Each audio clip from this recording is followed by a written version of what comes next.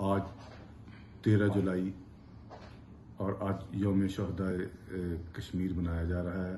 तेरह जुलाई उन्नीस सौ इकतीस को श्रीनगर में जो 22 लोग अजान देते हुए जेल के बाहर शहीद हुए थे, असल उनका ये था कि खान कदीर साहब के ख़िलाफ़ एक मुकदमा था।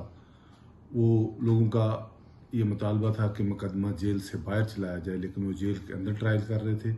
उसी दौरान अजान शुरू हो गई और अजान एक एक जुमले पे अजान के पे एक एक बंदा शहीद होता रहा। सबके सीने में गोलियाँ लगी और अजान मुकम्मल होने तक 22 बंदे शहीद हो चुके थे।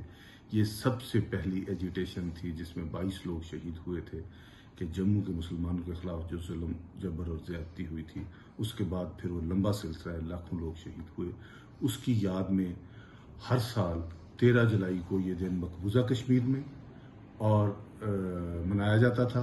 लेकिन मोदी गवर्नमेंट ने मोदी हुकूमत ने ये इस दिन को मनाने से मनाने पे पाबंदी लगा दी और अल्लाह मियाँ ने आज हमें ये मौका दिया कि ये दिन आज़ाद कश्मीर और पाकिस्तान में मनाया जा रहा है और बाकायदा गवर्नमेंट इसको इस दिन गवर्नमेंट आज़ाद कश्मीर ने छुट्टी भी की है और इस दिन को उन शहदा को खराज तहसीन पेश करने के लिए, उनकी कुर्बानियों को खराज तहसीन पेश करने